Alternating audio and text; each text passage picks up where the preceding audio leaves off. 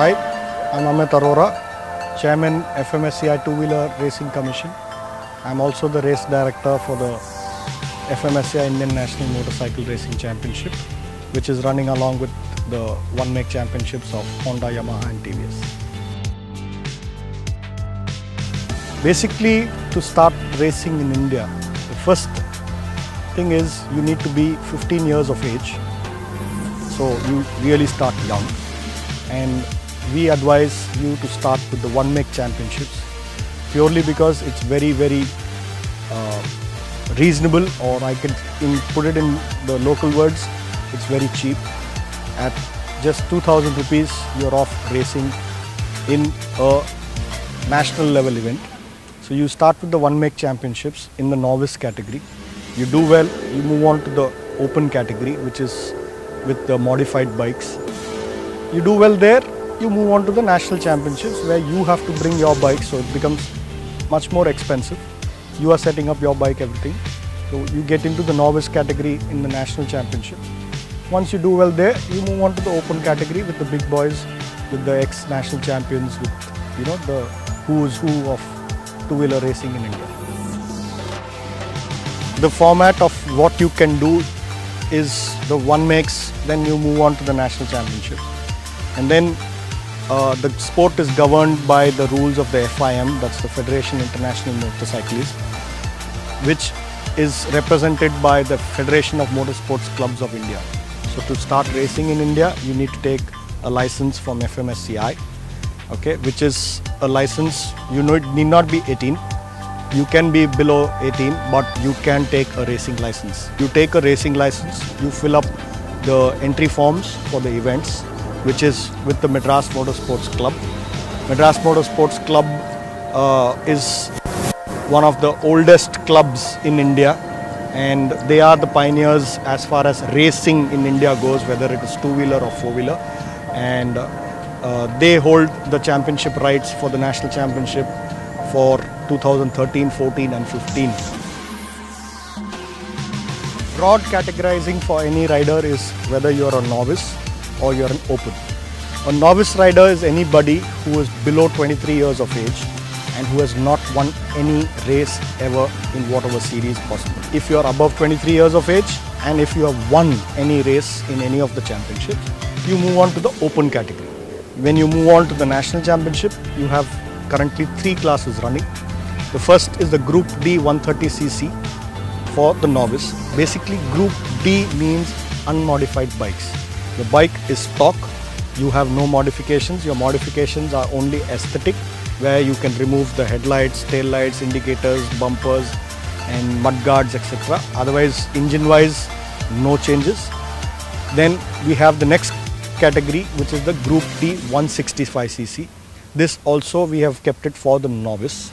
Once you have done this, when you have run one races or you are above 23, you move on to the big class which is the Group C 165cc. Group C is basically modified or rather fully modified but it is restricted to Indian components.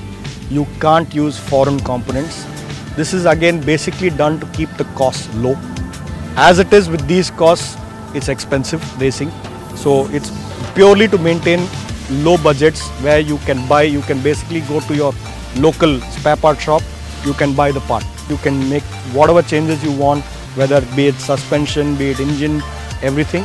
The only thing is you have to maintain that the original chassis and the casing of the bike.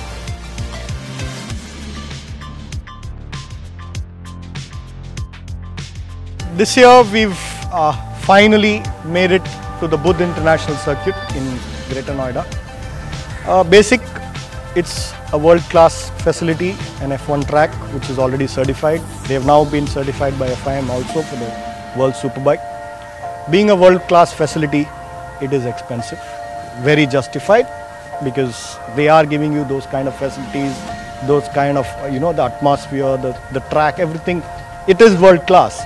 Budh International Circuit, we are going for one round this year and to maintain our economies, we have clubbed it along with the car championship.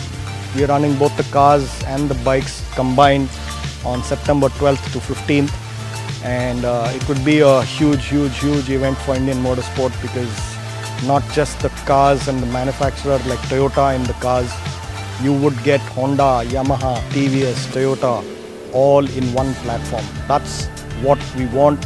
We want the manufacturers to back our championships. We want the manufacturers to back the competitors and make racing affordable.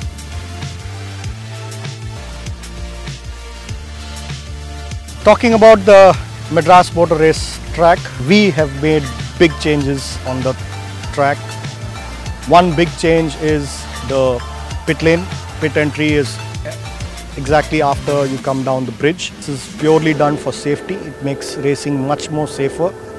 Apart from that, the runoff areas have been really worked on. They have been extended, gravel traps have come in, Armco barriers have come in, tire walls have, you know, it's a huge exercise for improved safety. The track is way, way up from what it was because it was an old track which was started in 1990. So safety standards way back in 90 and now are totally different. So we brought it up to safety standards of the FIA grade 3 already and we are working to get it to up to FIA grade 2. We've also already got our certification with FIM Asia. We brought in the FIM Asian Road Racing Series which is the premier championship in Asia. It's already run here in the month of July and uh, we really look forward to lots more international events coming even to the Madras Motor Race track. Our message to youngsters in India is one and simple. Racing is not for the public roads. If you want to race, come down to the racetracks, do your racing in a safe environment which is good for you and good for the general public.